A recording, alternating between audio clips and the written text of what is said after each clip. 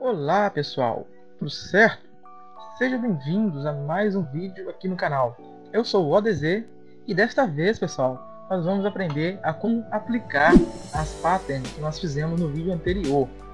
Né? Se você ainda não viu o vídeo e caiu aqui nesse vídeo por acaso, é, o link está aí na descrição do vídeo para você estar tá acessando e vendo. É, é, importante que você veja esse vídeo primeiro, antes de vir fazer o que nós vamos fazer aqui, beleza?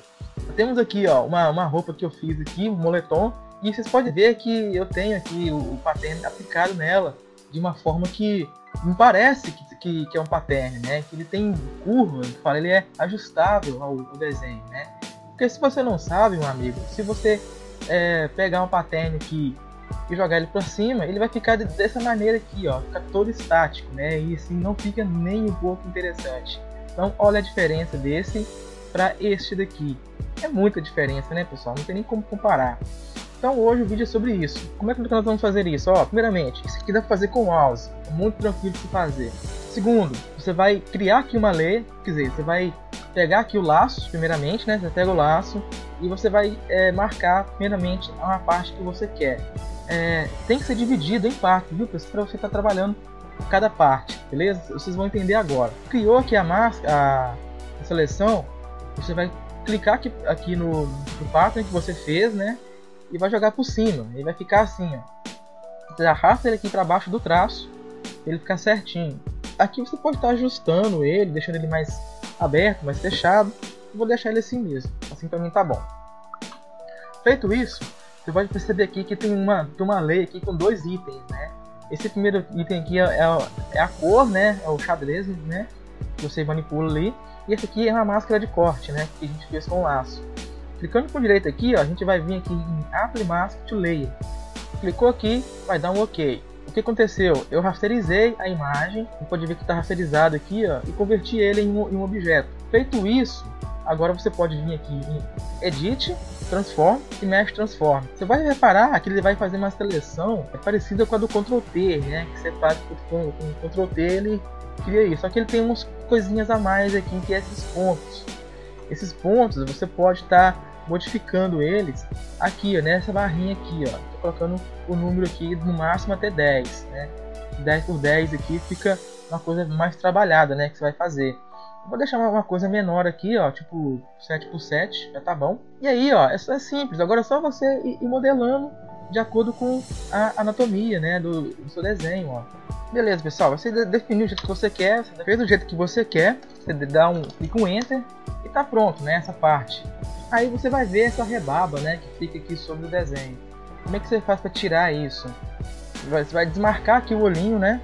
Vai clicar aqui por fora aqui, ó, com laço, né? Com a laço não, com a Auto Select, né? Você apertar a letra W, que você tem esse atalho.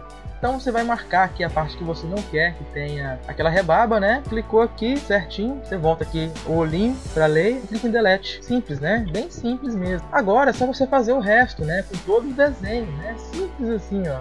Vamos lá de novo, ó, para fixar na cabeça. Vamos pegar aqui o laço, vamos selecionar tudo, vamos vir aqui na pattern, clicou, arrastou para cima, joga ela aqui para baixo, a layer todinha para baixo. Fez isso, você direciona aqui, ó, vou girar ele aqui para este lado, beleza? Clicou com direito, Apply Mask to Layer, Edit, Transform, Mesh Transformation. E aí você vai coloca lá os valores que você quer, bem rápido, bem prático de se fazer, não tem segredo nenhum. Terminou, tecle Enter, desmarca, seleciona a parte que você não quer que tenha a rebaba, tec delete, já era. Faz mesmo do outro lado.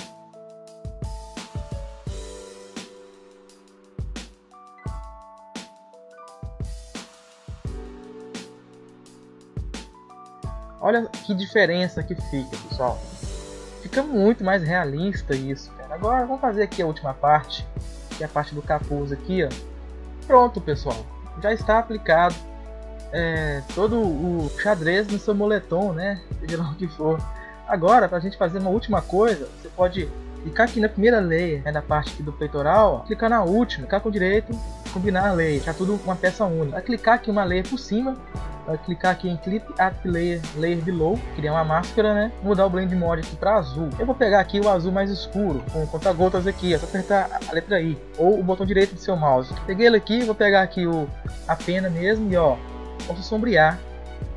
Simplesmente assim, ó, bem prático, bem rápido, não tem canseira nenhuma. Sombrear aqui de forma bem tosca mesmo, só pra gente finalizar com esse vídeo. Pronto, galera. Finalizei aqui meu desenho, bem rapidinho, bem... Pra dar um remate, ó. Clica aqui na leia segurando o Ctrl, ele vai selecionar tudo, né? Você pode estar tá fazendo uma cor mais escura aqui, ó. E pegando aqui o Airbrush no Soft, deixando ele um pouco grande assim, ó. E passando em algumas partes, né? Que realmente gera um pouco mais de sombra, né? Aqui embaixo e beleza. Olha só que bacana. Que bacana, pessoal.